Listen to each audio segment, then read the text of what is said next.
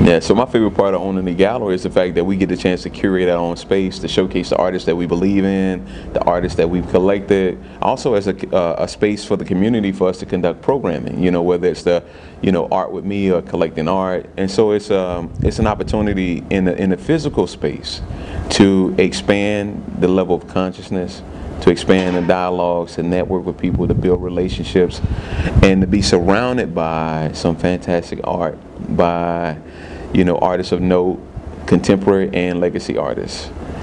That's my favorite part of owning a gallery.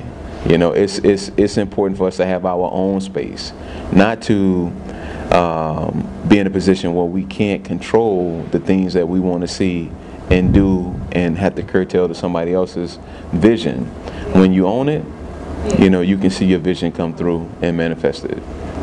That's my favorite part owning the gallery.